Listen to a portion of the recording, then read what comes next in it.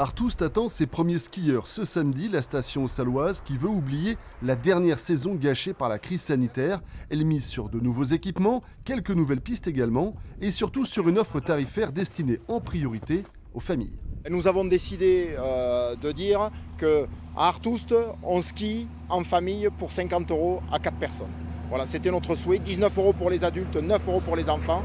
Voilà, c'est notre objectif, faire venir les familles et le ski rendu accessible à tous par le tarif. Les conditions d'enneigement sont exceptionnelles pour lancer cette saison avec les vacances de Noël. Les dameuses ont beaucoup tourné ces derniers jours. Oui, il en est tombé beaucoup. Et du coup, ça a été compliqué à travailler de suite. Donc, euh, on l'a laissé un peu se stabiliser et on va arriver pour une jolie ouverture. Et les responsables de la station, désormais gérée en régie par la mairie de la Reims, sont optimistes. Ils espèrent atteindre régulièrement les 2500 skieurs par jour, vu les conditions actuelles.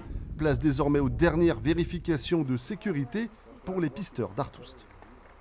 Les pisteurs font la visite de toutes les crêtes pour regarder s'il n'y a pas des rochers qui sont instables, un petit peu de corniche, de neige ou comme ça.